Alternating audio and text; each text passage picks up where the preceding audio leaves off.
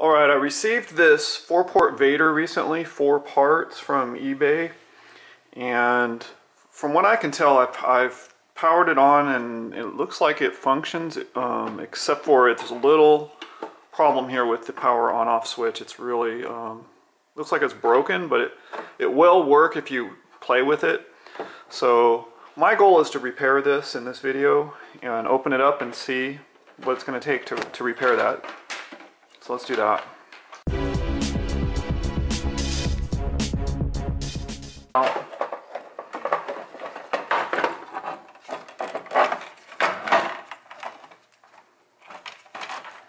oh yeah, that switch is broken.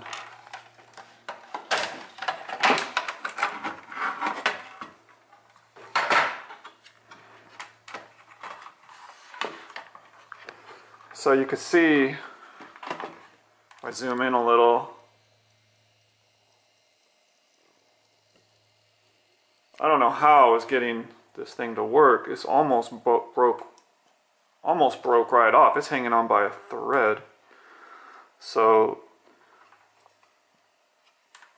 what I'm going to do in this video is desolder this the best I can and swap out that switch. And I did happen to pick up a replacement switch.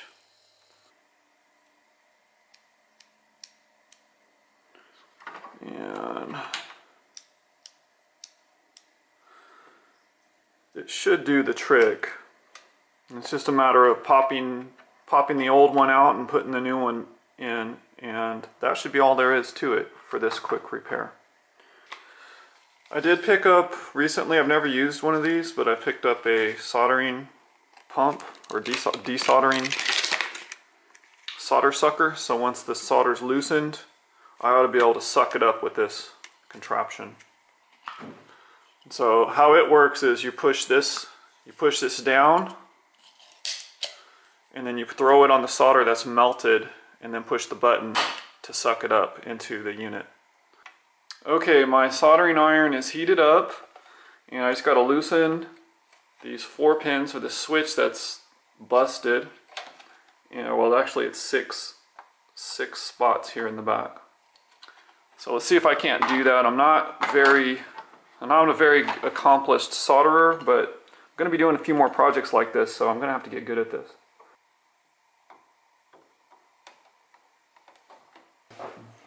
Let's try this middle one.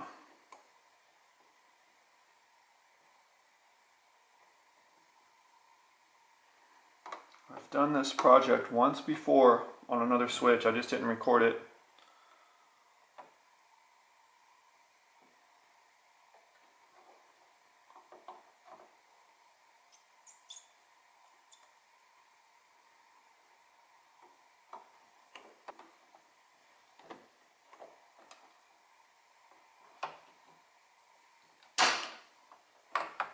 That might have worked.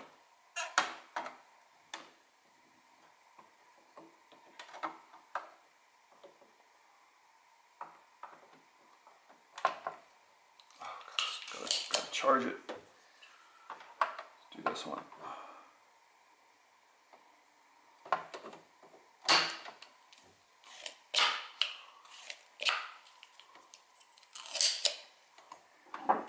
Do this one. Oh, someone.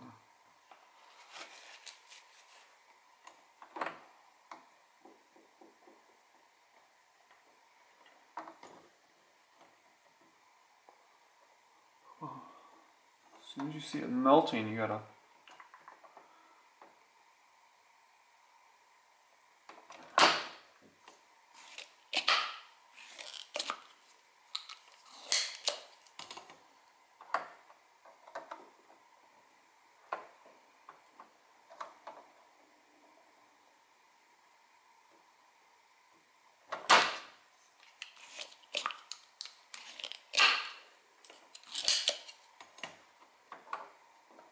might be enough to get it loose.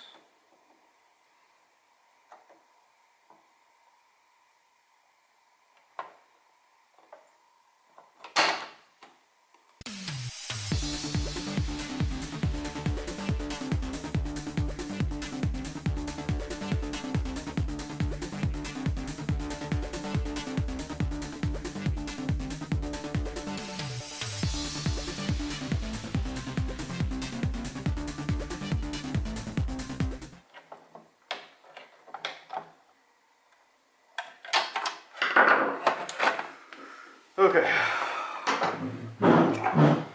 That took more longer than I uh, that took longer than I expected. And how the switch was in was like this.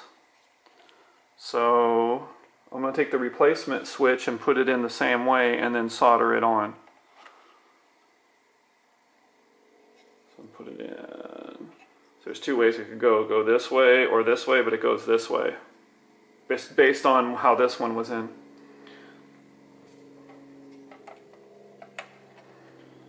throw it through there if it'll squeeze in.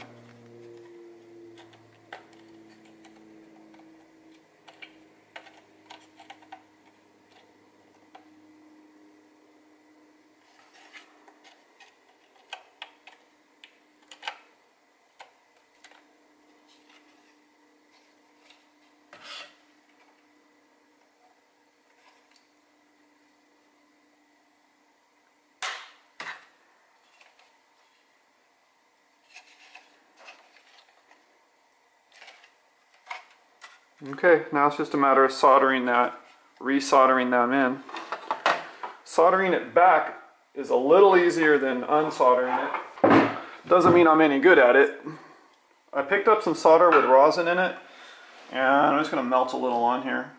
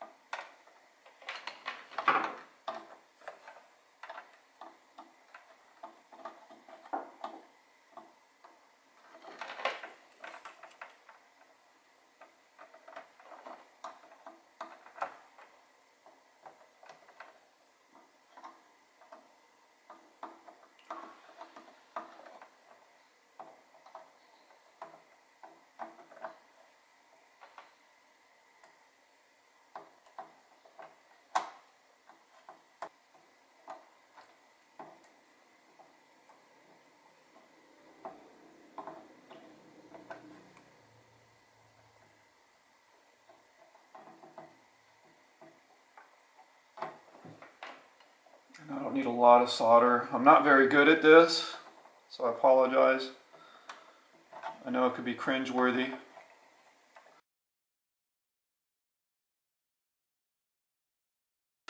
Alright, the next step in the process is to go ahead and test out the switch, which is right here. It's not turn it's not plugged in yet, but we want it to be in the off position. I'm going to go ahead and plug in the RF cable, and the other end of the RF is plugged in to the TV plug in the power. And then I have a cartridge handy, Berzerk. And then the moment of truth. Haha! -ha.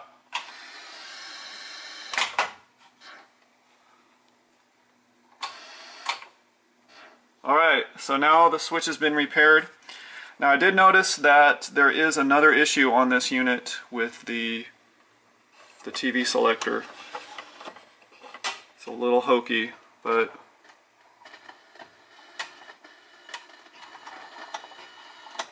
that might be a subject for another video if I have to replace that switch. But anyhow, it is working now. And now all I have to do is button it up.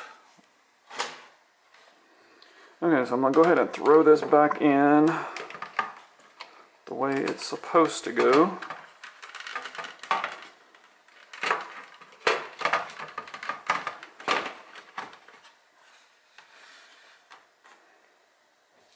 This is the old switch again. It's hanging on by a thread. I don't know how I was able to make that thing work. I'm going to pull off this little cushion.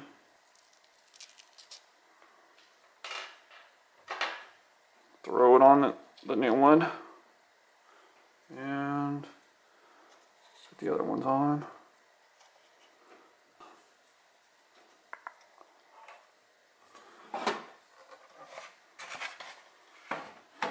And then the way I like to do this, see if I can't put this together without busting it again.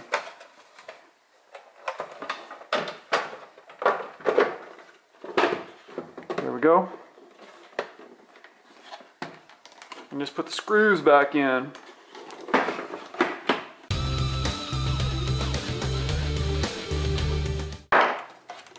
All right, as you saw in the earlier segment, this isn't necessarily the only thing wrong with this unit, but in my mind, it's a pretty well, pretty well fixed. You know, uh, I might have a little thing going on with the channel selector, but um, until it becomes critical, I'm not going to worry about swapping that out. I don't. I I understand that. Uh, please, how can I say this? Please uh, forgive me for not being the best solderer. Um, I'm not very good at soldering, but I was able to complete this uh, project. And uh, the next step would be to plug this in, and I'm highly confident it is going to work when I do so. So thanks for watching, I appreciate it.